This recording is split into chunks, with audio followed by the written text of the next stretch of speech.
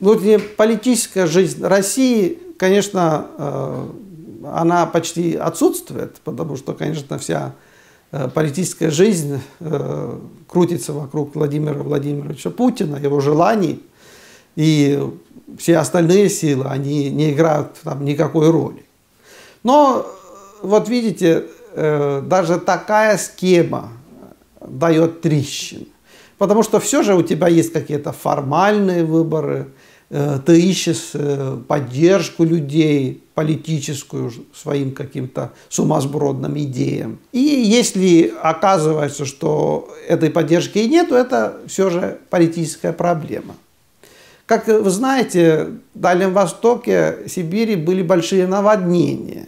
А местные губернаторы, назначенные Путиным, всем этим не справились. Люди были очень недовольны. Еще всегда так. Там и то лесные пожары, то наводнение. Ну, в общем-то, э, казалось бы, обычные вещи для этих мест. Но назначенные губернаторы Путина не справились с этой ситуацией вообще. Оказались беспомощными. Конечно же, это вызвало недовольство местного населения.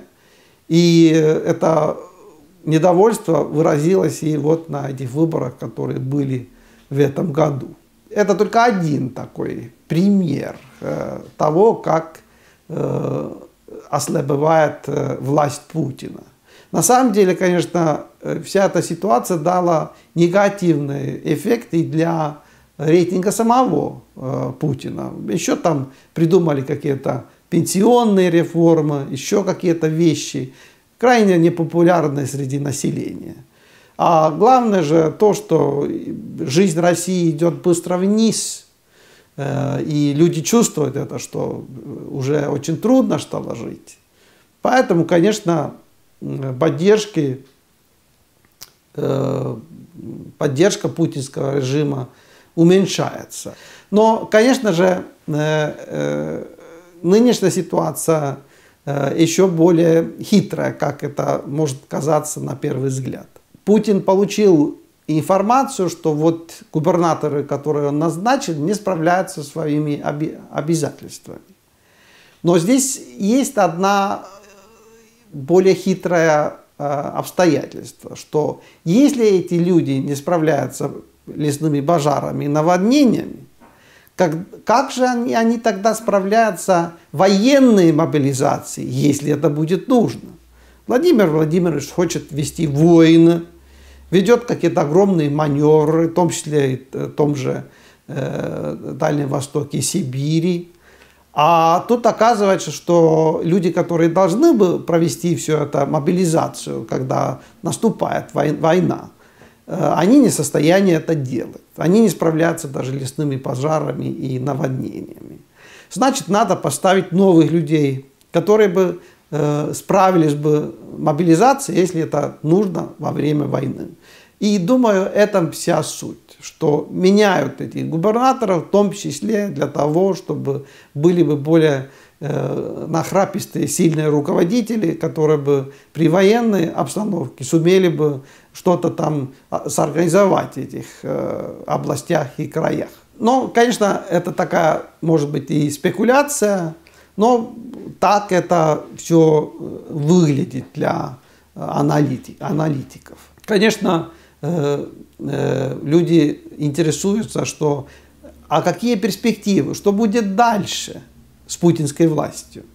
Но, конечно, идет разговор о том, что уже идет ползучий переворот. Это очень много распространяется, конечно, что э, недовольство Путиным растет среди олигархов, среди чиновничества, среди э, силовых структур, э, потому что глупости, которые он расплодает, это просто фантастическое количество. Ошибка за ошибкой.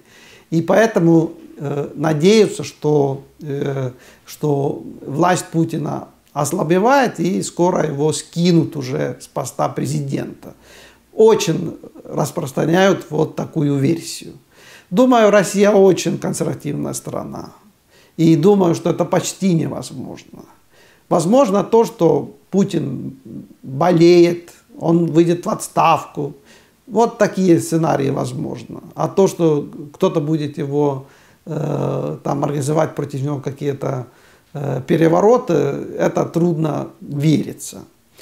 Но все же факт является фактом. Жизнь России ухудшается, рейтинги Путина падают, и острота внутренней политической ситуации на самом деле растет, несмотря на то, что оппозиция, всякая политическая деятельность в целом подавлена Путиным.